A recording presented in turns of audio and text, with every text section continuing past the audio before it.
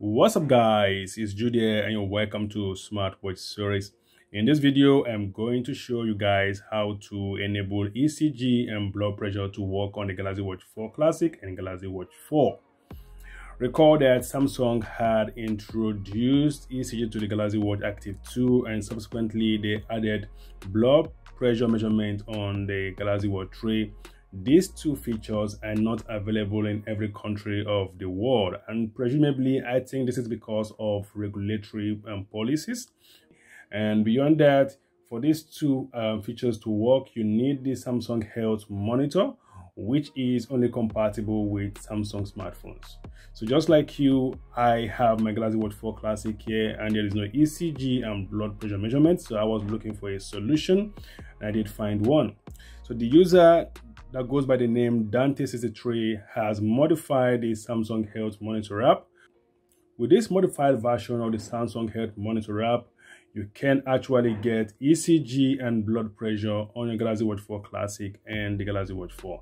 And in this video, I'm going to walk you guys through step by step on how to do this.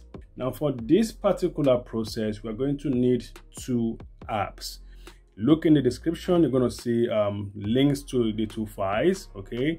One says um, phone one has a phone in its um, description. That is the one you're going to install on your phone and we're going to install that one first. Then the second file has watch in its um, description.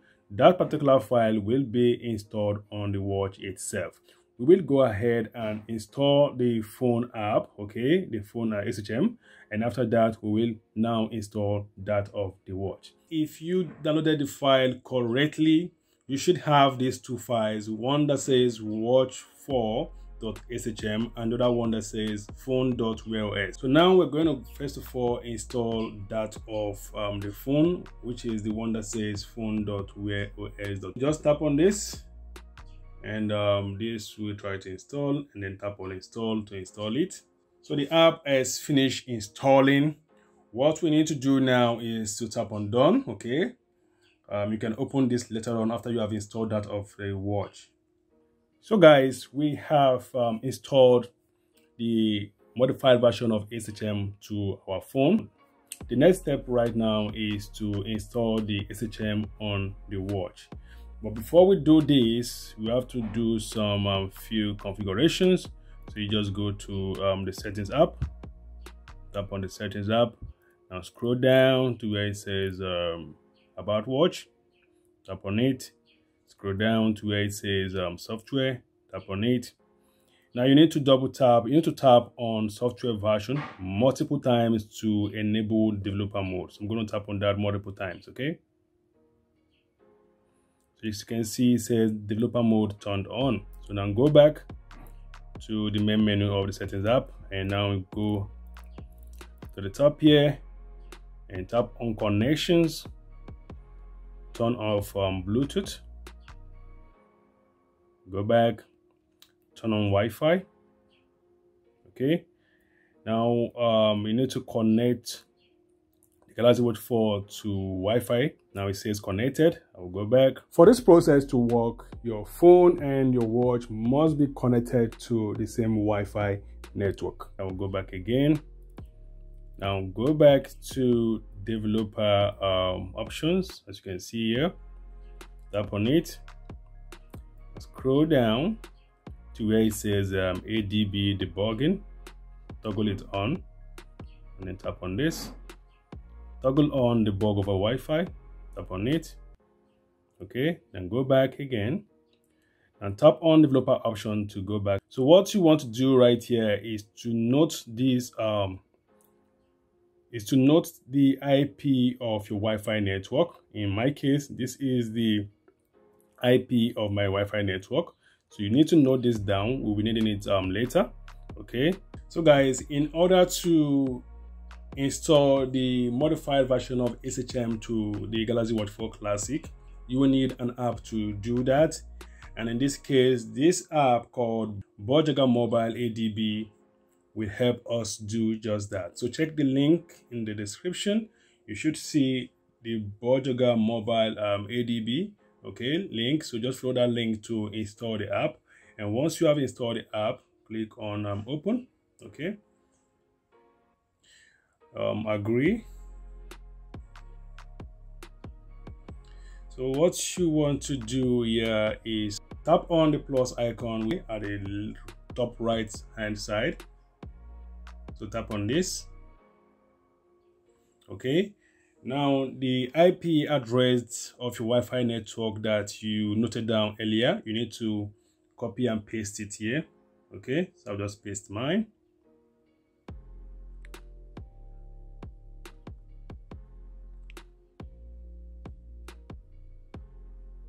and tap on connect. You should see a notification here so just scroll down. As you can see it says allow debugging so scroll down. Um, tap on always allow for this computer. Did i get that right? Okay. Let's watch for classic we now connect to the Bugjaeger app okay? So once connected you should see at the top here where it says um, connected device. You can see here this is the ip address of my wi-fi network okay so tap on the plus icon at the top uh, of the app so tap on it and it says let APK file, tap on OK. And as you can see, the apps we downloaded initially, we are going to be installing the watch4.shm, so tap on it. Now, one thing you should know is that this can take a little while. So what you need is to ensure that your Wi-Fi network is stable and you just have to wait for this to finish installing the app on the Galaxy Watch 4 Classic the app has finished installing on the Galaxy Watch 4 Classic. If you have any problem installing the app, what you want to do from the Bugjaeger um, app is tap on the three dots here, okay? And you want to go to where it says um, restart ADB server, okay? So restart ADB server, and this will turn back to no device connected. So now come back again and tap on this plus icon with plug on it so you try again to connect to the Wi-Fi network. Once you've connected to the Wi-Fi network, you should see your IP address at the top here. Okay.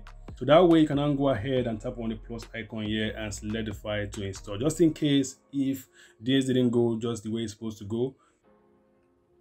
So guys, the Samsung Health Monitor app has been installed on the Galaxy Watch 4 Classic here and I'll just swipe up and I'll go to the bottom here as you can see, this is the modified version of the Samsung Health monitor.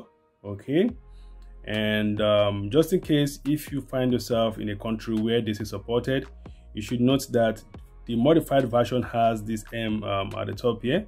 Okay, so you should use that to differentiate between the um, the official one and this modified version of the app. Okay, so now guys, we have successfully installed the modified version of the Samsung Health monitor on both our phone and on the watch. So guys, to complete the process, we need to turn off ADB debugging. You need to do this, otherwise it is going to impact on your battery life. And so to turn off ADB debugging, we just go back again to settings and you go straight to um, developer options, okay? like we did before tap on it and then we go to adb debugging and turn it um, off. So first of all we go to debug over wi-fi and turn it off okay? And we come back to adb debugging and turn it off and then we, we come back here okay? And we can go back to um, about watch. Go to software and uh, Tap on software version multiple times, okay, to turn off um, developer option. Good. So we've turned off developer option. So when you come back here, you shouldn't see developer option anymore. Now you can go back to the connection section here and um, turn things back to normal because your phone and watch communicate mainly via Bluetooth. So I'm going to turn on uh, Bluetooth. Okay, and um, Bluetooth is turned on and I will go back again. If you wish, you can turn off um, Wi-Fi. So I'm going to turn this off since I'm not making use of it. So I'll just go ahead and turn off Wi-Fi. So guys, that completes the process. Okay, you need to turn off ADB debugging. It is very important. Otherwise, this is going to impact on the battery life of your watch. So guys, to set up the Samsung Health Monitor app, I'll just tap on this um, app here and it will open up the app okay? And now you need to accept to the privacy policy and terms of use. So type on accept. You need to enter your first name your last name date of birth and um, your gender. So go ahead and do that. I'm gonna just look this up. Go to the app at the bottom and tap on it, it says um, allow. Samsung Health Monitor to access this which is the one you have on your phone. Okay i'll go with ecg first since i've not calibrated and blood pressure Okay, it says do not interpret or take um, clinical action based on Samsung Health Monitor measurements without first consulting with a qualified healthcare professional. So you heard all that correctly. So guys, let's go ahead and tap on OK. It says rest your finger lightly on the top button, which is here.